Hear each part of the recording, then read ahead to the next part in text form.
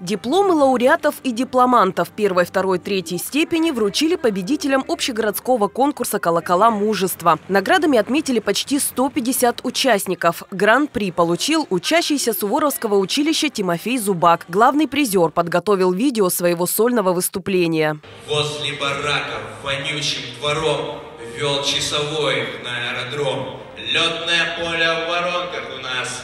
Пусть разровняем, был отдан приказ. Каждый год конкурсу чтецов задают определенную тематику. В 2021 в произведениях участников должно было быть обязательное упоминание 155-го юбилея Уссурийска или 80-й годовщины со дня начала Великой Отечественной войны. У меня было произведение э, Фирсова Ивановича Владимира э, «Русские поля». Оно мне показалось очень душевным, интересным, затягивающим. То есть это вот действительно произведение, которое можно было слушать и вникнуться. То есть ты сидела, и тебе было интересно продолжение. А я читала произведение «Ну что ты плачешь, медсестра». Ну, это было произведение о войне. Мне оно очень понравилось и затягивающе было про медсестру, так как она вытаскивала людей, а, когда их ранили. Возраст участников для конкурса «Колокола мужества» практически не ограничен – от пяти лет и старше. Номинации распределялись по четырем категориям, столько же и направлений. Чтецы могли подготовить сольное выступление с литературно-музыкальной композицией, выступление коллектива, исполнение произведений собственного сочинения, а также приморских авторов.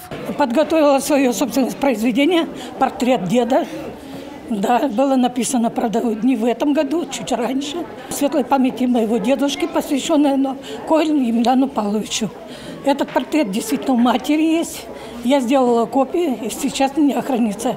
Когда проходит бессмертный полк, я с этим портретом. В завершении награждения для победителей традиционно организовали гала-концерт с элементами театрализованных постановок, песен и танцев. В целом в «Колоколах мужества» в этом году попробовали свои силы больше 330 детей и взрослых из 14 субъектов Приморского края. В список призеров попали также участники из пяти других регионов России. Отметим, что конкурсу чтецов в 2021 исполнилось 10 лет. Марина Роман, Роман Адонин. Телемикс.